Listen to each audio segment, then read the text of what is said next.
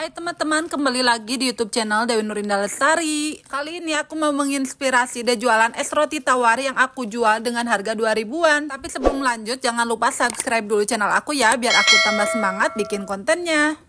Untuk cara membuatnya, langkah pertama kita larutkan satu bungkus pop ice rasa stroberi, satu bungkus kental manis putih, dan 250 ml air. Biar cepat larut, di sini aku pakai air panas. Kemudian aduk-aduk. Biar lebih menarik aku tambahkan pewarna makanan 5 tetes warna merah rose. Kemudian aduk rata lagi, sisihkan.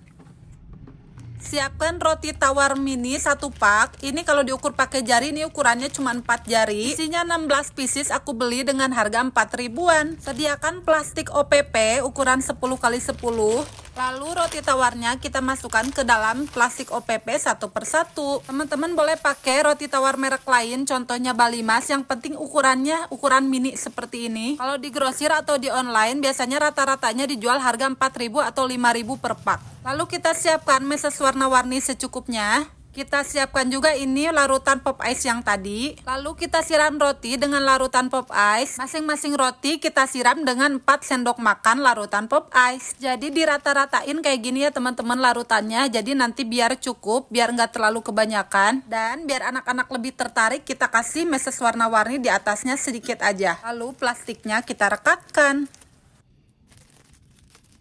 Nah, seperti ini teman-teman. Pokoknya kita ulangi sampai beres. Satu resep larutan pop ice ini cukup untuk 16 pieces roti tawar ukuran mini ya teman-teman. Nah, ini semuanya udah jadi. Lalu kita masukkan freezer.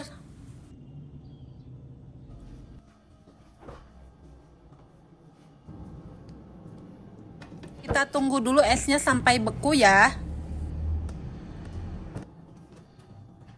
Nah ini dia teman-teman. Es roti tawarnya udah jadi cukup simple banget kan cara bikinnya. Pokoknya yang nggak bisa masak juga pasti bisa kok bikin ini. Menurut aku ini kalau dijual 2000an ini nggak terlalu kekecilan ya. Ini sedang ukurannya. Untuk perkiraan harga modal dan keuntungannya sudah aku tuliskan di kolom deskripsi. Hmm pasti cobain ini beneran manisnya pas loh teman-teman Lembut juga walaupun tadi udah beku banget tapi pasti digigit tuh ini beneran lembut Susunya kerasa manisnya pas pokoknya teman teman-teman wajib cobain bikin ini. Nah itu dia teman-teman resep es roti tawarnya. Kalau ada pertanyaan silahkan tanyakan di kolom komentar.